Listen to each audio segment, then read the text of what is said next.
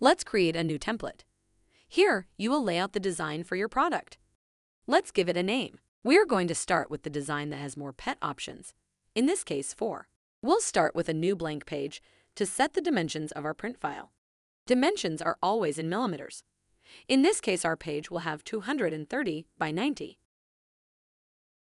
Here we are in Customily's Design Studio. It's where we'll add all the layers that make the design. We'll start by adding a dynamic image for the quote options. Once you add the dynamic image, choose the library you want to use for it. You can drag and drop to resize and position the layer correctly. In this case, the quotes will go on the backside of the mug. If you change options, you can see that all the clip arts from the library are now inside that layer. We'll continue by creating dynamic images for the dog options, starting by the first dog. Pick the library, then resize and reposition the layer. The dogs will go on the front side of the mug.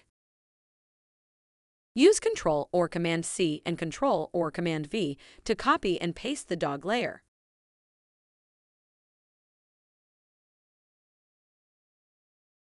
Now we'll add text boxes, so customers will be able to add their pet's name. Choose the font and the size you want the text to have. You can drag and drop to resize and position the text where it needs to go. Use Ctrl-C and Ctrl-V to copy and create another text.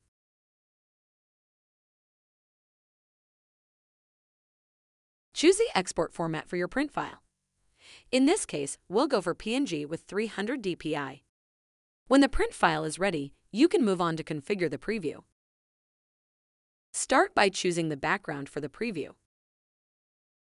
In this case, we'll use a picture with the back and front of a mug. As you can see, all the layers from the print file are now visible on the preview. You can select all layers and drag them around to resize and reposition them so the design matches your product perfectly. Now that the preview is looking good, we can see how it compares to the print file.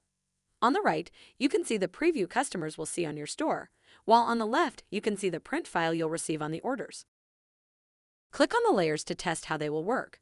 You can browse through the clip art options and type custom text. When you're ready, save the template. And head on to the next video to learn how to create the variations for less number of pets.